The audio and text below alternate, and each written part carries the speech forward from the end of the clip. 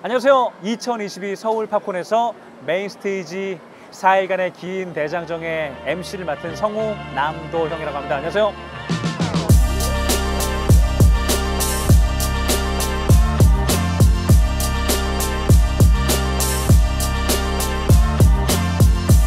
우선 음성이 가져다주는 매력이라는 게 어떨 때는 보이지 않는 게 보이는 것보다 훨씬 더 많은 부분을 매력적으로 어필할 수 있다는 것을 음성만이 가져다주는 매력을 느끼고 나서 그 길을 깊이 파고 들려고 노력했던 것 같아요.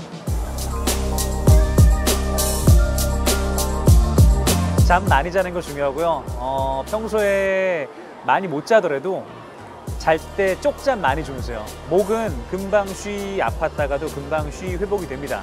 주기적인 관리라면. 잠이 보약이란 말이 목소리에 정말 가장 큰 키워드가 되지 않을까 싶습니다. 다양한 그 외의 방법도 있지만 잠이 보약입니다. 신인 때 작품을 접하게 될 때는 그저 그 캐릭터 하나에만 몰입하면 되죠. 근데 시간이 지나서 새로운 작품을 만났을 때 이전에 했던 작품과 캐릭터가 겹칠 경우가 생기거든요. 고민할 부분이 연차가 거듭될수록 많아지지 않나. 예를 들어 옛날에였으면 그 작품만 몰입하면 되는데 이제는 어 이게 예전에 했던 이 작품과 좀 동일한데 약간 비슷한 성향이 있는데 어, 얘와는 다른 차별점을 또 뭘 둬야 될까? 애니메이션이나 성우를 좋아하시는 팬분들이 들으실 때 어?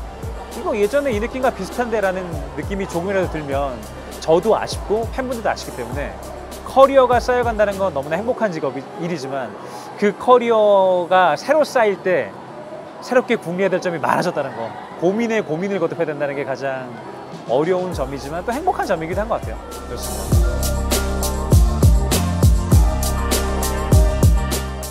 원신의 타르탈리아가 가장 기억에 남네요 이 현장에서. 지금 원신 팬분들이 정말 많이 오시고 전문 코스분들도 많이, 오셨, 많이 오셨는데 원신을 다들 좋아하시는 것 같아요. 코스분들도 아까 저한테 사진 찍을 때 원신 사진을 보여주시면서 찍을 때도 많았고 뭐 미라큘러스 레이디버그 블랙캣의 블랙캣도 있고 이 현장에서 바로 떠오른 건 원신 타르탈리아네요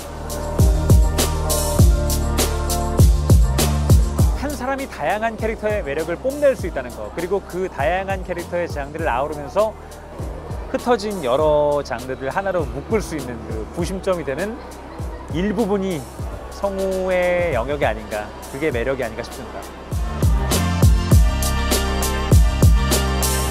우선 본인이 하는 게임들은 꼭 하나씩 있을 거예요. 보는 애니메이션도 꼭 있고 그 부분들 그냥 귀로 흘려드리지 마시고 꼭 따라해 보세요. 음성 연기에 가장 중요한 건 본인이 음성을 내서 자기 소리가 어떤지 모니터하는 게 가장 중요하거든요. 그렇기 때문에 절대 혼자 흥얼거리거나 머릿속으로 생각하지 마시고 밖으로 내뱉으셔서 소리를 내서 본인의 음성을 체크해 보는 게 가장 중요할 것 같고요. 이제는 인터넷과 영상만으로 뭐 프로 성우들을 보거나 그런 시대는 지났습니다. 오늘 이런 현장도 그렇고 어디서건 성우분들을 만날 수 있는 시간들이 꽤 많이 있어요. 앞으로도 많아질 거고 현장에서 직접 소통해 보시면 그 꿈에 조금 더 강한 어필이 되지 않을까 자신에게 현장으로 나오세요.